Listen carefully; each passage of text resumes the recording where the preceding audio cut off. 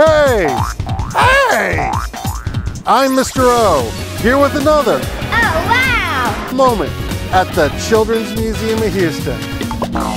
So today's challenge is to determine which eggs are raw and which eggs are hard boiled. Well, boiled. that's easy. Wait, wait, wait, wait. Let me finish. Determine which eggs are raw and which eggs are hard boiled without breaking open the eggs. Oh. Now that's a little difficult. Well, actually, my grandma once told me that if you take a hard-boiled egg and you spin it, it will spin very, very easily.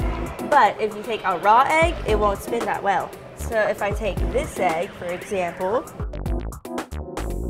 it spins easily, so it must be hard-boiled. Let me try. This one doesn't spin well, so it should be raw. So this is our hard-boiled egg pile, and that's our raw egg pile. Very good. Wait. How do we know if this trick actually worked? Okay, we can break open the eggs. We'll start with our alleged raw egg pile. Which, when we break it open, is obviously a raw egg.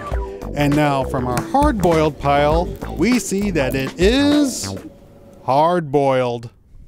My grandmother's trick worked, but how does it work? Ah, well, to understand that, we're gonna have to turn to one of the most brilliant minds in the history of physics Sir Isaac Newton. Hello! Now, Newton's first law of motion, also known as the law of inertia, states that objects at rest tend to stay at rest, and objects in motion tend to stay in motion unless acted upon by an outside force. Now, you gotta remember that motion tends to want to occur in a straight line. In other words, when you spin something, it's constantly moving away from a straight line, so its inertia is constantly changing. Now let's apply that to our eggs. While on the outside the eggs appear the same, it's on the inside that matters. A hard-boiled egg is solid throughout, which means it has a definite shape. So when you give it a spin, the whole thing spins no problem. The force applied to the shell of the egg is transferred throughout more or less evenly, allowing it to easily overcome the constant changes to its inertia. But a raw egg on the inside is liquid. It has no definite shape. Even more, it has a separate liquid-filled sac, the yolk. So when you try to spin a raw egg, it doesn't spin that well. The key is the liquid interior.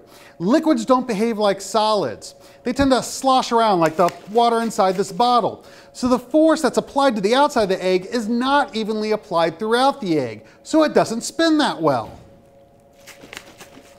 You know, this gives me an idea. Let me show it to you a different way. Before we begin, remember, science is fun, but it can also be dangerous, so always have a responsible adult helping you. You'll need three water bottles, one filled completely with water, one filled about halfway, and one empty. You'll be tossing and catching the bottles. Start with the full bottle. Hold it with the cap facing you, then throw and catch it so that the bottom is facing you.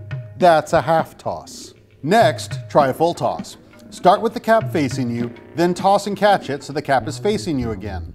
And again with a double toss. Keep going. Can you do a triple or even quadruple toss? Now, repeat the tossing, first with the empty bottle, then the half-filled bottle. What differences do you notice? So unlike a raw egg, which has a yolk and some airspace inside of it, this full bottle of water is just pure water. So there isn't a significant amount of sloshing, making it behave much like a solid would, just like our hard-boiled eggs. So you should get some good spinning. As for the empty bottle, it has less mass than the water-filled one since it only has air in it.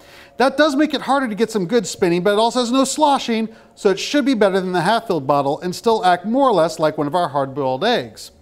So this one has plenty of room for the water to splash around, making it very hard for it to constantly change its inertia as it spins. The same is true for our raw egg. While you can get it to spin, it doesn't spin easily because it has a hard time constantly changing its inertia. This has been another Oh Wow moment from the Children's Museum of Houston. We hope your mind can come out to play.